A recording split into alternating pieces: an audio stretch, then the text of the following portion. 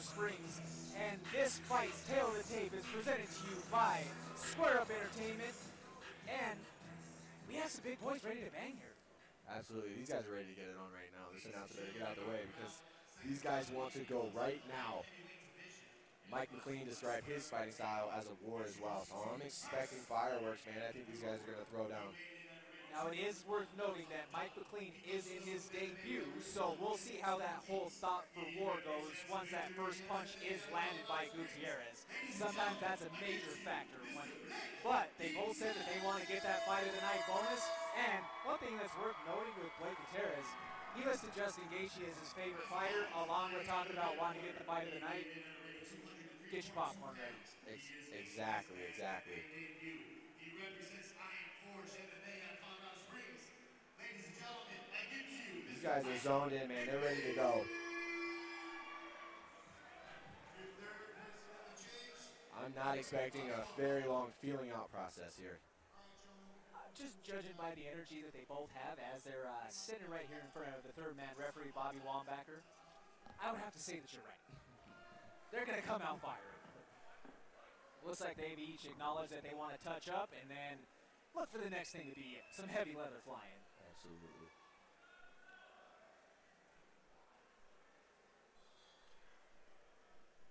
And here we go.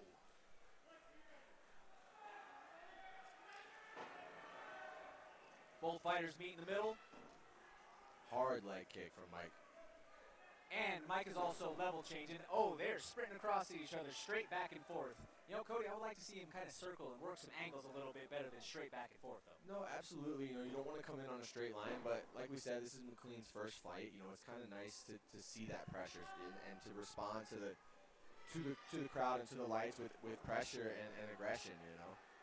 But now that we've had our first couple of exchanges, Gutierrez has really kind of held the center of the cage, and he looks to be the man who's standing comfortable in the pocket. But one thing that does kind of make it easy is it looks like he's breathing out of his mouth already, and it's only in the early part of this first round. But that was a strong He's right hurt, hand. He hurt him with that right hand. Yeah, that's kind of what we were talking about. Like, you don't want to burn yourself out doing all the extra things pre-fight, right? You need to you need to be there and be able to perform when it's time to perform.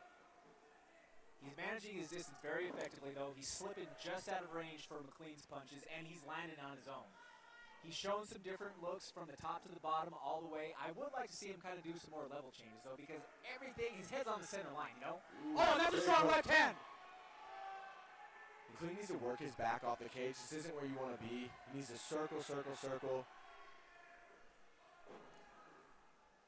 We're seeing a couple of naked kicks there from McLean. Now, it's not to say that he is not backing up Gutierrez with it, but I would like to see him use a little bit more of a blend and not throw those naked kicks to leave him vulnerable for the counter punch straight down the. Absolutely, and definitely don't throw those naked kicks with your head right on the line. That's how he's going to eat a right hand. Gutierrez Left hook lands by breathing heavy out of his mouth. Be interesting to see how that plays going forward. Both of these guys are breathing heavy, it looks like. Yep. Now, whether that's from the body shots that McLean has taken so far, I couldn't tell you. But neither way, these guys are throwing hard, and sometimes that's all it takes, Cody. You're throwing big, heavy Yeah. punches, big, heavy kicks, and you're not always hitting. Oh, a flurry of exchange. McLean's coming forward with those big looping hooks. You know, he he was able to get his back off the cage, but already has given up all that space. He needs to maintain the center when he works hard to take the space. Talk to me about what it's like when you throw and miss. How does that tax the gas tank? Just like right there, we see a very big overhand right hook. Absolutely. So when you throw and miss, you're getting extremely tired, and then also when you're getting hit, you're getting tired. People don't think about that. They got great cardio. Everyone has really good cardio until they start getting hit in their face, hit in their body. Then it starts to deplete your gas tank. Then as you throw and whiff and miss, your gas tank gets less and less and less, and you breathe out your mouth, and you're more likely to get knocked out.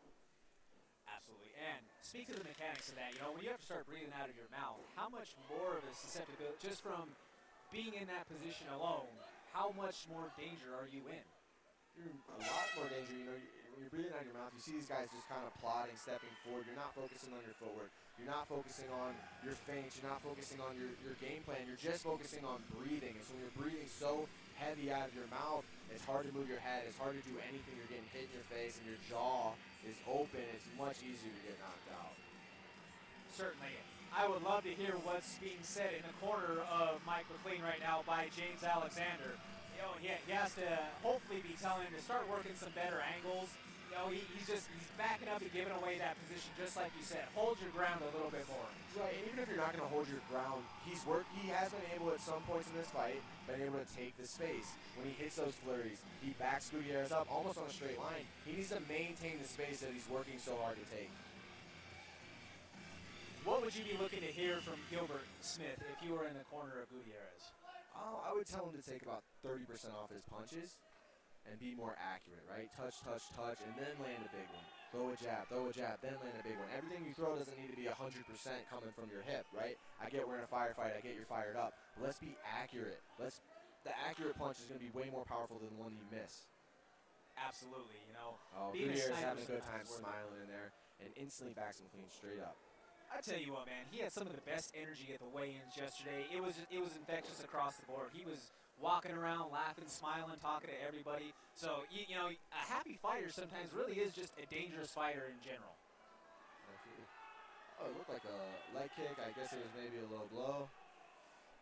And that's two for two tonight, Jordan. That is, we might we might need to start getting that uh, that ticker roll like Paul Felder talks about in the UFC broadcasts. Now, we don't have instant replay here tonight, folks. So that's not something that I can really give you a, a solid review of whether it landed or where it landed. Seems like he's all right. It does. That was uh, about maybe a, a minute of uh, minute of break. Oh, the action and a straight. What's up, bro? Okay. Gutierrez is, is pressuring. He's pressuring. Oh, Gutierrez is talking now. He's getting his Diaz on, and he comes with the blitz and one two, stuffing the takedown up against the fence from McLean. So he doesn't want to strike here. He wants to find the head, the head pr- pressure, and he wants to find the head position. He needs to gain position first before he tries to strike. He needs to break off. Sometimes when you see those arms thrown up like that, that's either uh, what's up or uh, oh man, I've got a lot of blood in my arms. Absolutely. Big, big deep breath from Gutierrez. You know, he's pressuring hard, and I just think if he would take the emotions out of it, his gas tank would be able to be a little more efficient.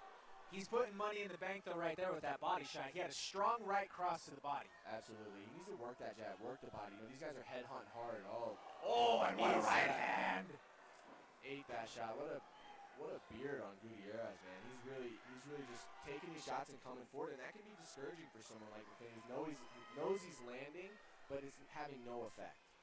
Describe that in detail. When you hit somebody as hard as you can and that man's still standing in the pocket smiling at you, what is going through your mind? I mean, it definitely messes with you, man. It, it makes you it, it, it makes you think that you're, you're not effective. What you're doing isn't working, and, and it can break you mentally. And, and this sport is so mental that any mental edge you can get is going to be huge in a fight. That leg kick is hurting him. He needs to keep throwing that leg kick. He needs to keep chopping those legs because those are hurting McLean. You know, Cody, just by the look on McLean's face. Oh, there's a strong left hook to the jaw. I was about to say, if he goes to the body a couple more times, that might open it up right there for the either going down by body shot or for sure dropping the hands enough to where he might be able to find that finishing blow. If he keeps kicking his leg, he will win this fight by TKO. Oh, and that was a is strong body kick. end. This And it. it is all over right there. Gutierrez shrugs it off right there. He looks like a boss. He says, I've been here before and I have done this a time or two. Absolutely, and that's kind of like what we talked about before the fight started, right? That experience, that that weather the storm, that weather these firefights, the flurries that these guys were getting in, because they both came in to take each other's heads off. Gutierrez was able to conserve his energy a little bit better and keep going back to the well with that leg kick, right? He was doing that damage. The guy, McLean, couldn't move. He, he had his back on the cage. He was a sitting duck. And, you know, I think a lot of that is experience, never being in a fight, never feeling that 100% leg kick. You know, we're not wearing shin pads in here. It's a different deal. It's a different feel, just like I said. And, you know, the, like I said, I think the experience paid off, and Gutierrez was able to secure the win and the finish. Absolutely. And would you say that you believe that the body shot right there up against the fence is what kind of was the uh, was the, the checkmate? The ground and pound was just a little bit of icing on the cake. Absolutely. You know, that, that body shot hurt him. He dropped. The ground and pound was just to secure the finish. And now with the official decision.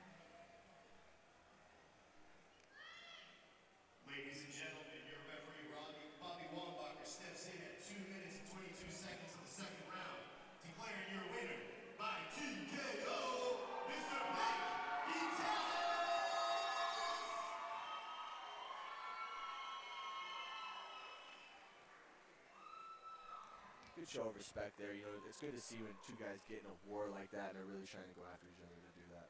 Absolutely. Let's see what uh, Mr. Gutierrez has to say here. Ladies and gentlemen, I'm here with your winner, Mr. Blake.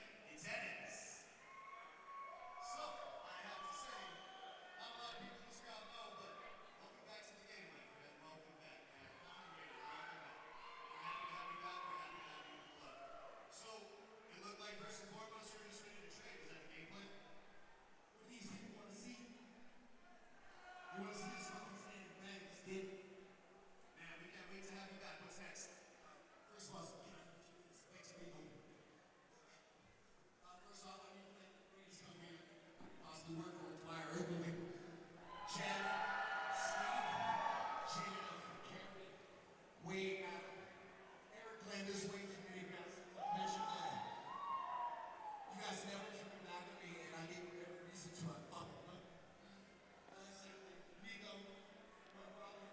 download on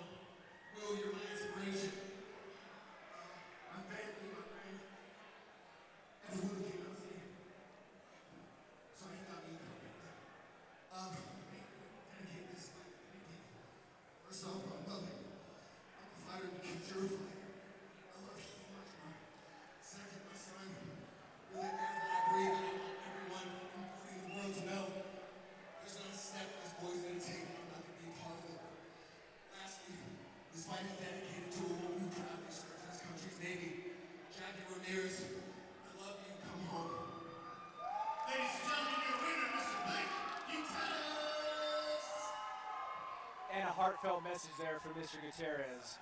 You know, you, you have to love to